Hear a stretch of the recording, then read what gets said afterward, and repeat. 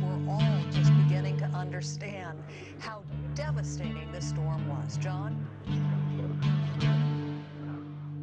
People stuck on their rooftops, uh, unable to get out, and the fact that these people had no transportation, no way out of the city.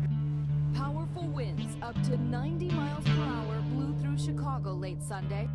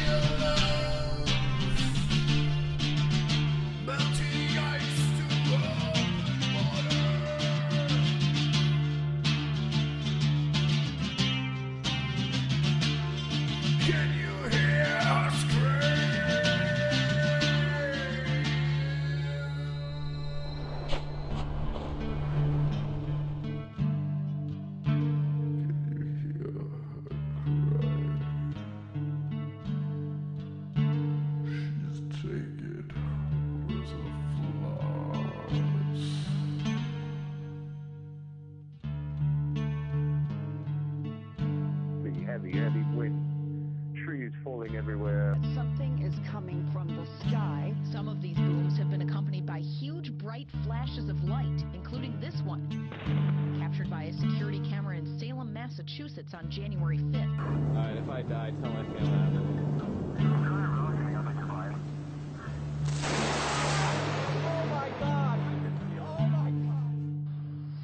I'm talking about a sinkhole, rumors of an earthquake, a sonic boom flooded social media when this happened. None of that confirmed. In fact, no word on what caused